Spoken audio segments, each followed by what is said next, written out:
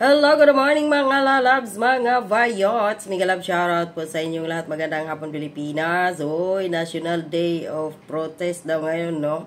Sa Pilipinas. So ngayon, ang ikadalawang taon ni Pangulong Bongbong Marcos uh, sa pag-upo, no? Pagka-presidente. na nakailang travel na ba ang ating presidente. So ngayon, dinumog no, ng protesta hindi lang sa Pilipinas, Luzon, Visayas, Mindanao, kundi pati sa ibang bansa lalo ng maisog rally na sa Hong Kong at sa iba pang part ng uh, iba't ibang panig ng mundo yata. May mga rally ngayon no? Na nabudol sila ni Bongbong Marcos. Ah. dito sa Middle East uh, walang rally dito na napakainit dito Diyos ko po. So yung topic natin ngayon ay sumagot si VP Sara sa parang umaasa pa si Bongbong Marcos about sa uh, Unity, tapos depende daw kay Bibi Sara kung uh, saan siya pagdating ng uh, next year election na midterm. At uh, malalaman ba administrasyon ba siya or oposisyon? At uh, parang si Pangulong uh, si Bongbong Marcos nagsabi na hindi din daw nagbigay ng rason sa kanya. Si VP Sara kung bakit ito nag-resign bilang isang uh, Vice Chair ng uh, NTF-ELCAC at saka bilang DepEd Secretary. Obvious ba, Bongbong Marcos, kung anong ginawa ninyo, lalo ng pinsan mo at ng asawa mo, na pambababoy sa iyong Vice Presidente na kung hindi dahil sa kanya, hindi ka presidente ngayon, Mr. BBM. Eh, tandaan natin, 2016, naglaban kay ni Lini, natalo ka, nagprotesta ka pa nga eh. Dahil hindi siya, uh, hindi ka binoto ng lahat ng loyalista So, yun. Uh, ngayon, sinabi dito ni uh, Pangulong Bongbong Marcos, no?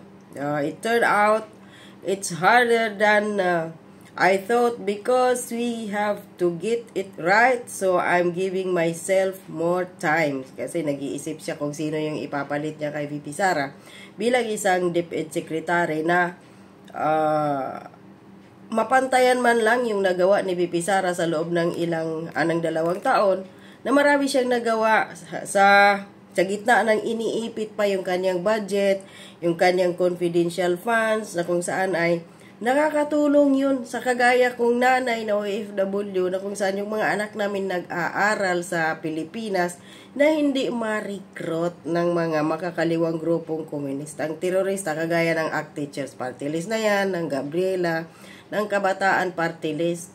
Nandun sila nang re-recruit sa mga eskwelahan mula elementarya hanggang college para eh ma ano sa kanila? Tapos magkandamatay lang pagdating sa mga sagupaan sa mga kanayunan kabundukan. So parang kagaya ko na nana hindi ako mangamba na yung anak ko na hindi mabiktima ng mga iyan. Kaya may confidential fund si Bibi Sara So, yun no, ang pambababoy. So, nagtaka pa si Bongbong Marcos, Diyos ko po, katawarin. Talagang itong, uh, hindi natin alam kung ano talaga yung anesthesia na nilolonok ni... Kasali ba yan yung uh, kanyang uh, nilolonok, sinisinghot dyan. Eh? May anesthesia talaga, talaga yan na wala man lang siyang pakiramdam no, kung ano yung rason bakit si Bibi Sara nag-resign. So, continue tayo sa pagbabasa natin. We have to see what the DepEd needs. Of course, There are many calls for the new secretary to be an educator. O kagaya ng sinasabi ni, sino ba ito? Uh, Senador Coco Pimentel, which is para sa akin, tama din siya. Ang dapat iupo dyan yung nasa loob na mismo sa hanay ng DepEd. Para, kasi kunti na lang, ang alam na niya yung galawan doon sa loob. Pero siyempre, presidente pa rin ang mag-desisyon kung sino yung gusto niya. Sabi pa niya dito eh, there are many calls for the new secretary to be an uh, administrator, the new calls for the historical uh, professor. All of these are valid concerns. That's what education is all about. You need uh, an educator to uh, educator who understand how uh, to help the students and how to help the teachers, but then how do you achieve that? That requires a very good hand and uh, on the pillar of the deep end who can manage it properly. Ayun, dyan ka ngayon dahil si VP Sara talaga eh. Kahit hindi siya DepEd uh, teacher, hindi siya, kung wala siya dati, eh, sa Davao, isa siya dyan siya nag-propose no, yung sinasabing tinatawag na eh, yung ALS, uh, Advanced uh, Learning, uh, ano ba yun siya, school or something ganyan yun na kahit elementary ka, pwede ka mag-take ng exam, pwede, depende sa iyong uh, tawag dito score, mapunta ka sa high school, or mapunta ka sa college, may ganyan, no? Yung, yung learning na yun. So, meron yun si Bibi Sara, mayor pa lang siya. So, may experience talaga din si Bibi Sara. Pagdating dito sa education, kahit papano.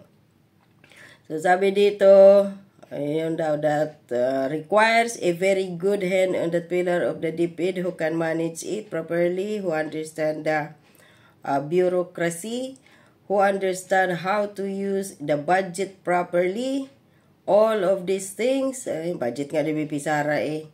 Sinasabotahin ninyo.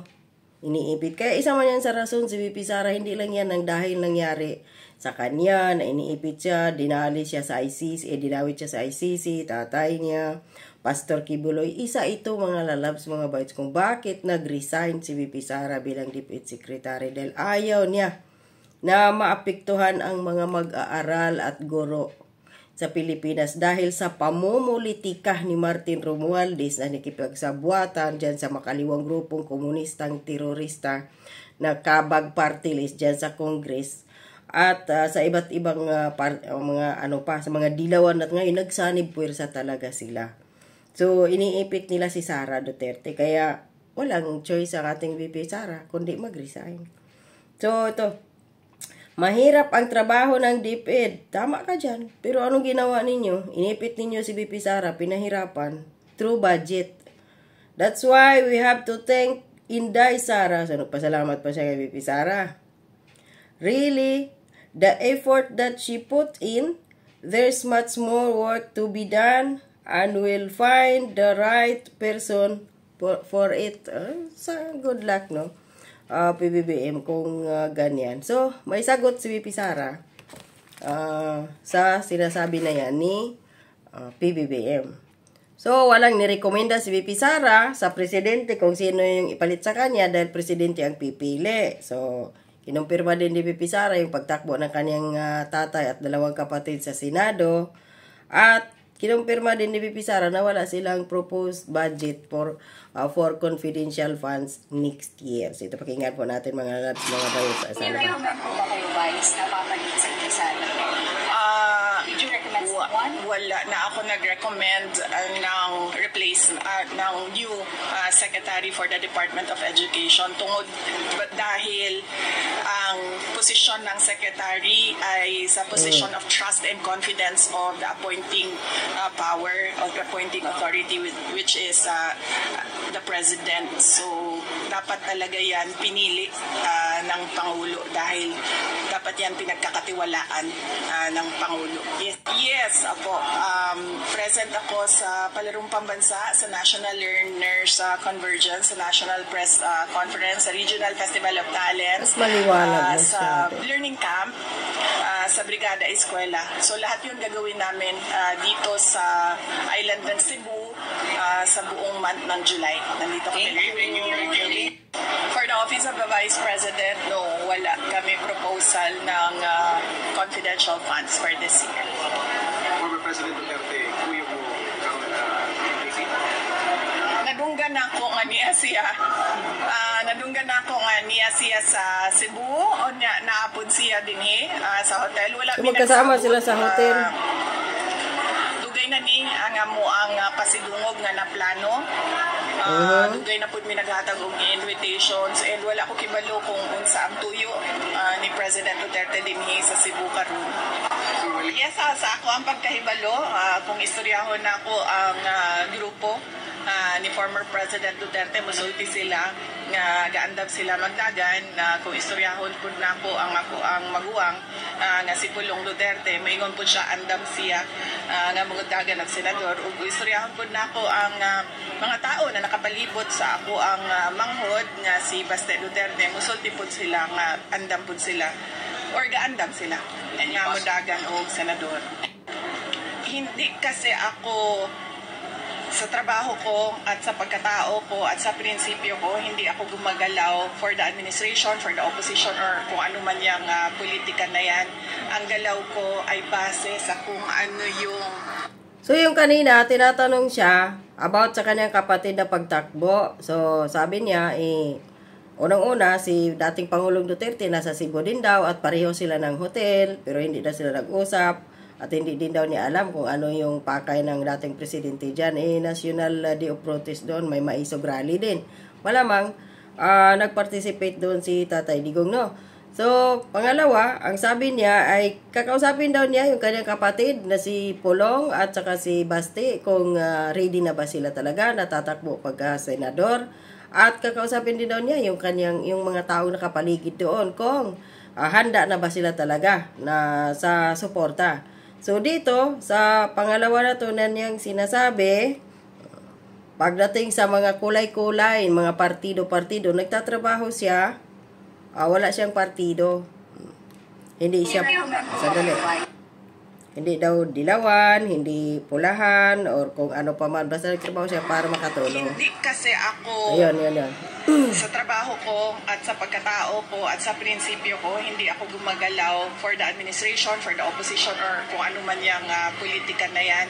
Ang galaw ko ay base sa kung ano yung uh, makakatulong sa ating mga kababayan at kung ano yung karapat-dapat para sa ating mahal na Pilipinas. So there's no such thing yet? Um, sa politics, wala. Ang uh, gawa natin ngayon ay uh, ito, ang pagtutok uh, sa transition, turnover ng Department of Education at uh, ang uh, ating pagpapatuloy ng mga proyekto sa ilalim ng kagawa, pangalawang Pangulo ng uh, Pilipinas.